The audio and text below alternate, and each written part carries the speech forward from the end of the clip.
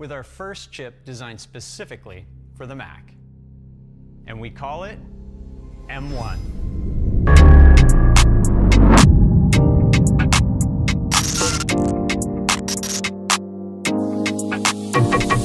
Hey what is up guys so today I'm back with the next video and today I want to talk about Apple's one more thing event so what I want to actually talk about today is the M1 chip but before I get into it make sure to like comment share and subscribe to this channel if you like my content. Make sure to share with a friend who you think might also like my content. So let's get right into the video guys. Alright guys, so the last time Apple said that they're gonna do one more thing was when they announced the iPhone X. And the iPhone X was a totally different design from what we have been used to. Um, you saw that the screen got bigger and they kind of stick to that design up until today. So that same notch, you remember when iPhone X just came out and they were like notch city and that guy with the notch hairstyle was trending and all those stuff and now they're still using that design they're at iphone 12 right now and they're still using that design so we knew from first when apple said one more thing that is gonna be a new generation of something and a lot of people i'm no i don't know where the information leaked but a lot of people predicted that it will be on the new silicon chips or apple's new chips apple is gonna go and start to use their chips instead of using intel chips in their PCs and their MacBooks and all those stuff. Not their PCs, their Macs. They don't call it PCs, they call it Macs. So in all the Macs, they are now M1 chips, which is Apple made chips. And those chips are like the A14 Bionic chips that are in your iPhone 12, iPhone 11, and so on. So Apple kind of been playing around with this chip for the past two years or even more and they said that it will be even better than the Intel chips that they use in their computer. Um, it will work better with their software such as Final Cut Pro, Logic, um, Photoshop, all those different stuff will work even better. They even go as far as saying that it will like wake up out of sleep mode and just be ready to go into performance mode to do like 3D renderings or 3D programming or editing raw footage. So as I said, Apple um customize their their apps to run these software these these programs even better with the chips with the chip that they are using. So for Logic Pro, it can angle up to three times the amount of audio tracks. For Final Cut Pro, it can it can angle up to six times faster so it would basically run six times faster and just imagine how fast final cut pro is with the intel chips already so if it's gonna go even faster that should be mind-blowing. Apps from third-party providers like adobe are also coming apple says. So i'm guessing adobe is gonna customize their photoshop and lightroom and their premiere pro and after effects to work better with the chip because as you know the chip is gonna be new and um, will this chip be able to compete with intel and amd i'm not sure. Intel has been building chips for a long time. I think they're doing it long before apple even came out. And i think amd might be the same time around. Don't quote me on it. Might be the same time around apple started to make computers when i say computers i mean even cell phones and all those stuff because if you guys know that is why apple is one of the best phone companies now because they've been making computers. So they just put it into a mobile computer because you know your phone is basically a mobile computer.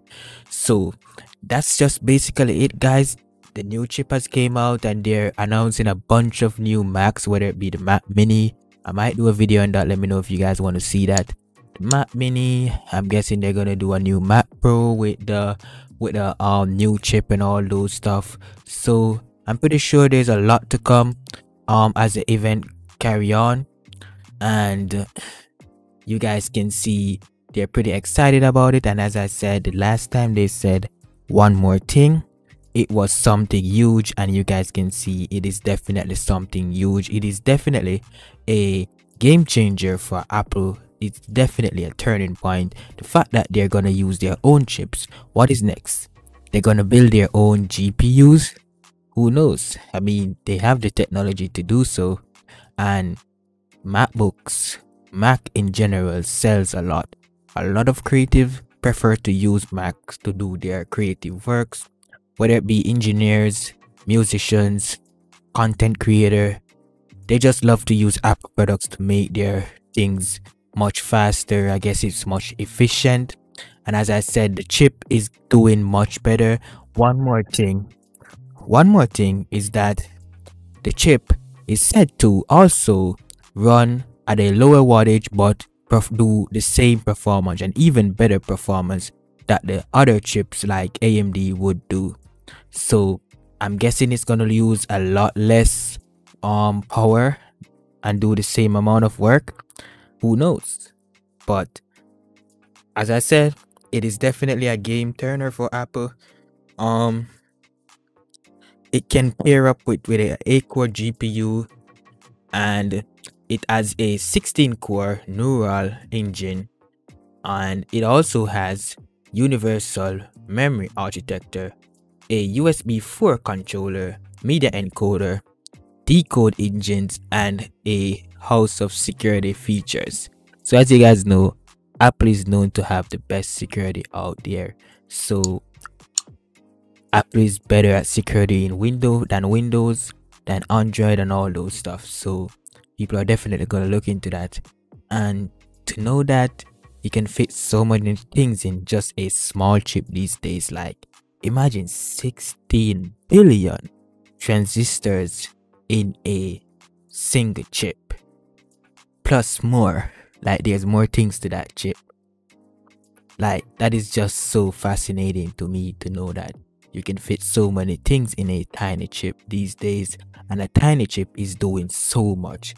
Because i'm pretty sure back then if you were gonna design something like this i'm pretty sure they would make it big as like a plane or something. A passenger plane they would make it that big just to do this same amount of work so i'm pretty excited to see what apple is doing.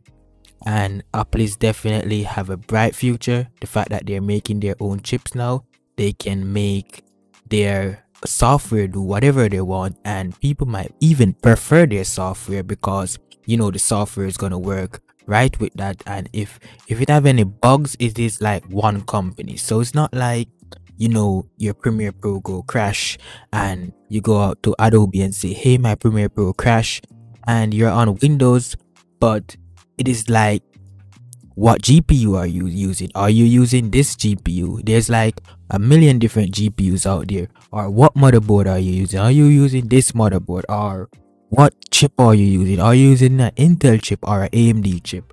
Or what memory are you using? You guys, you guys get the point.